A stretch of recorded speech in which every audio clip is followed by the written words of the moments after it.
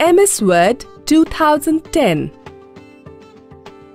Spell Check and Grammar Hello students! Welcome to Microsoft Word tutorial. I am in the process of designing an invitation letter for Tina's birthday party. Here, I have the content typed. Do you notice that some words are underlined in red and green? What do they signify? MS Word has a built-in feature to check the spelling and grammar.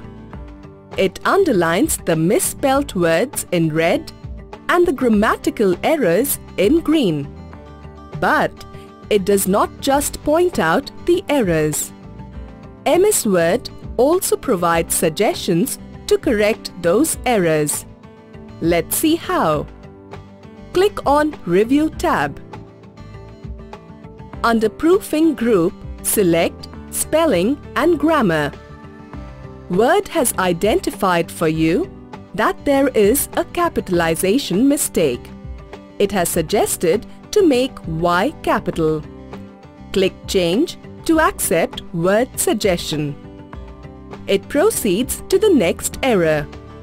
You may ignore this error as Kunj is a proper noun. Click Ignore All.